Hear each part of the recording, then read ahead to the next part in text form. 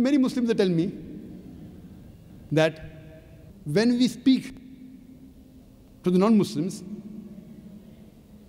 they tell us that first go and improve your Muslims. First go and improve your Muslims. See what they're doing, then come and speak to us. So because the Muslims ourselves are not good, they aren't pious, that's the reason we can't do dawah to the non-Muslims. Today, there are hundreds of thousands of Christian missionaries throughout the world. I ask the question. I ask my Muslim brothers that do you know these Christian missionaries? You know they have alcohol? Yes, I know. Do you have alcohol? He said, no. Who's better, you or he? I am better. I ask the Muslims. Do these Christians, these Christian missionaries, many of them have drugs. Do you have drugs? He said, no. Who's better, he or you? I am better. Now, many of these Christians, they do fornication, they do adultery. Do you do fornication? He said, no. Who's better, him or you? I. With all the defects, these Christian missionaries, with so many defects, yet they're spreading the word of Christianity. Hundreds of them, thousands of them, hundreds and thousands of them. They leave the country and they travel thousands of miles to spread the word of the Bible. Don't give excuse that first go and tell your Muslim brothers. And there are many Muslims who come and tell me, Brother Zakir, first हम मुसलमान को पक्का मुसलमान बनाएंगे फिर हम गैर मुसलमान को दावा करेंगे first will make the Muslims practising Muslims and after we make all the Muslim practicing Muslims, then we will go and convey the message to the non-Muslims. I tell them, this time will never come. Our beloved Prophet Muhammad sallallahu he himself could not convince his own relatives. Do you think you're better than the Prophet? Our Prophet, he could not convince his own uncle. Do you think you're better than the Prophet? It's mentioned in Sahih Bukhari in the book of Salah, volume number one, that the Prophet says that in Medina, there were Muslims who did not come to the mosque for the compulsory salah.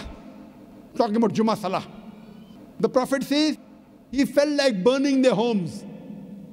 That means in Medina, there were Muslims who were not good practicing Muslims. Yet the Prophet, he sent messengers, he sent messages to the king of Yemen, to the king of Persia. He sent messages to the king of Byzantine. He did not say, first I'll make all the Muslims 100% practicing Muslims and then I'll convey the message to the non-Muslims. You have to do both simultaneously. When you meet a Muslim, fine, do Islah with him. When you meet a non-Muslim, do dawah to him. Both are equally important, dawah and Islah. But if no, no, no, which is more important? Both are important. No, which is more important? I asked him the question. Suppose a patient of heart attack comes to a doctor, stroke and a patient of common cold comes, and the doctor has limited time, who should he treat? A person with heart attack or a person with common cold? Who? Heart attack. I'm talking common cold, not swine flu. Huh? Even if swine flu comes, heart attack is more important.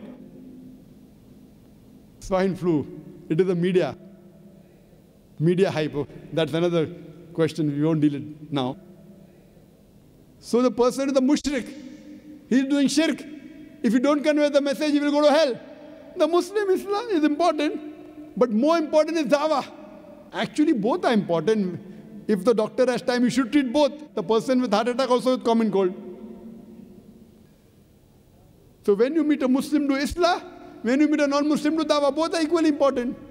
Do both. You can't say, I'll first make all the Muslim pakka Musliman and then do dawah. That time will never come our beloved Prophet Muhammad in the Hajjatul Wida, in the last khutbah he gave, in the last pilgrimage, there were about 110,000 Sahabas. He asked them, that did I deliver the message to you? And all of them said, Bayshak.